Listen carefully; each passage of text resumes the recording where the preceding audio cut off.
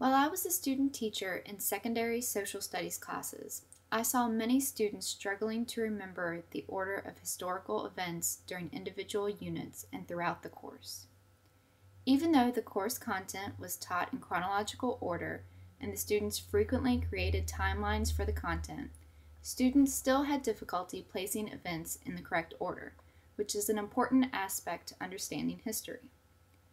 For this project, I wanted to learn about memory associated with the order of events and find an associated theory to improve my social studies instruction. My research led me to an introduction of serial recall and the Hebb effect. When students must remember something they have stored in long term memory, they are working with recall memory. There are three types of recall memory free recall, cued recall, and serial recall. Serial memory is the processing and memory for the order of events. Donald Hebb studied neurophysiology and is better known for his theory about neurons and synaptic activity. In the mid 20th century, his research on serial memory resulted in a discovery that became known as the Hebb effect. Hebb wanted to research serial memory because, as he said, there was a gap between the theory of learning and the practical advice one can give to the student who wants to know how to study more efficiently. This research seemed to fit with my goal of learning how to teach more efficiently. In Hebb's original experiment, a researcher verbally presented a set of nine digits to a subject and asked the subject to repeat the digits back in the same order. During the presentation of 24 sets of digits, every third trial the same nine digits were repeated. Hebb assumed that with each new stimulus, which was a new set of nine digits, the previous set of digits would be wiped clean, and there would be no cumulative learning. The subjects proved Hebb wrong because the majority of them learned the repeated sequence. At the end of the experiment, the subjects remembered the repeated set of digits regardless of whether they had noticed the regular repetition or not. Other researchers have since replicated Hebb's results using various inputs besides just numbers, such as letters, words, and visual images. The methods of presentation have also varied from verbal, visual, and auditory. The key discovery is that regular repetition, as opposed to random, during a serial recall task leads to improved memory performance, and this is the Hebb effect. The hypothesis for my study is that the regular repetition of an order of events in a cumulative manner will result in a Hebb effect. Instead of working with numbers, letters, or single words, I wanted to test phrases, in this case historical events, to make the study more applicable to teaching social studies. Unlike Hebb and other researchers who used highly familiar material, my subjects will not be familiar with the material, which makes the situation similar to those encountered by students in many classes. The main goal was still to discover if repetition results in learning. My mini experiment involved two subjects, Zach and Joe. They are 12 year old fraternal twins who attend sixth grade at a rural middle school. Each boy was interviewed individually, beginning with Zach as the control subject and Joe as the experimental subject. The material for this experiment was the major events leading to the start of the Civil War as determined by the Virginia Standards of Learning for U.S. History 1. The subjects are currently taking this course, but they have not yet reached the 19th century, and they are unfamiliar with the subject material used in this study. I began the interviews with each boy by asking them a basic background question. So, what do you know about the Civil War? The country was divided into two sections the Confederate and the Union, and Virginia split into West Virginia and Virginia because of slaves. Both subjects knew that the Union defeated the Confederates, which side was the North and the South, and that slavery was an issue involved in the war. I then provided a limited amount of background information, such as the definition of secede and the historical time period. After I provided instructions, the miniature lesson began. I wanted the experiment to run like a condensed version of a class, where I acted as the teacher and the subjects acted as the students. I displayed the title of each event and the subject wrote the title down as if to simulate note taking. After he finished writing the title, I provided a brief description to simulate a lecture, but the subject did not have to write any of this information.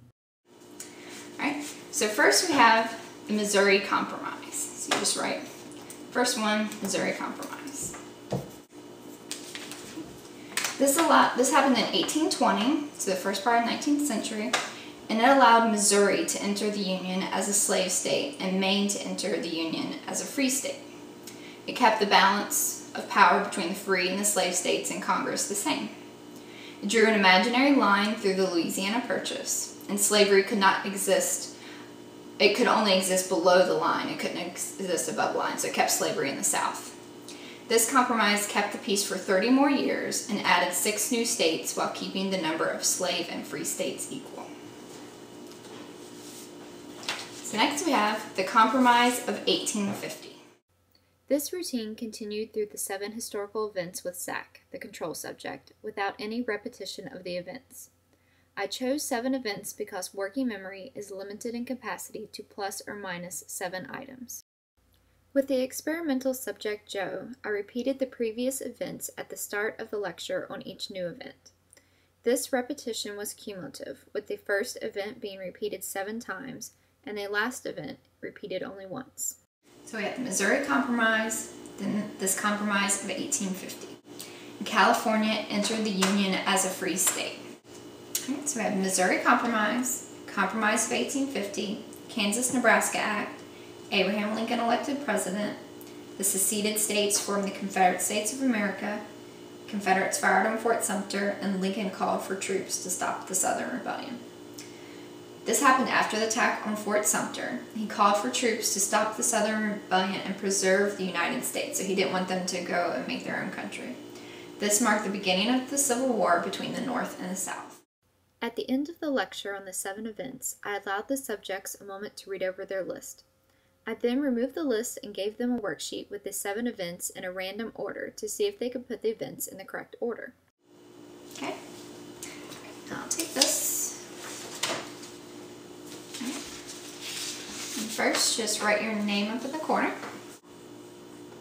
Okay, and what you're going to do is you're going to put these in the order that they happened. You can just write the numbers 1 through 7 beside them, or you can rewrite them down here, whichever you choose. I was unable to prove my hypothesis because the control subject outperformed the experimental subject by putting all of the events in the correct order without the use of any repetition, and the experimental subject missed two of the answers. Therefore, there was no Hebb effect.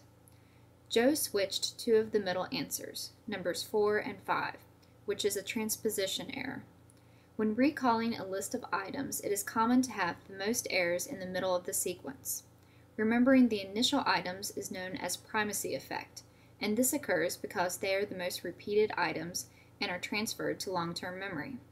Correctly ordering the last items is known as recency effect and this happens because the more recently discussed items are still in working memory. Based on my findings, a Hebb effect does not exist when the input material is a multi-word phrase like the titles of historical events I used, although I still believe the use of repetition in the classroom will benefit students when trying to place events in a time period. Many researchers cite repetition as useful for committing items to memory and activating prior knowledge. Even though many social studies courses are taught in chronological order, the teachers still fail to repeat the titles of previously studied events. For example, at the beginning of a unit on the Civil War, a teacher could say, Remember, we have already studied the American Revolution and the War of 1812. I believe even a simple statement like this could help activate students' memories, because it is surprising how many students do not remember which came first, the American Revolution or the Civil War. Previous experiments that resulted in a Hebb effect used shorter items that were familiar to the subjects, and my attempt to expand the usefulness of the Hebb effect failed.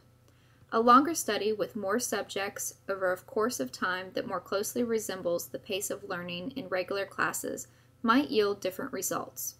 My study may have been unsuccessful at proving the potential for regular repetition during a single course unit, but repetition can still benefit teaching and learning.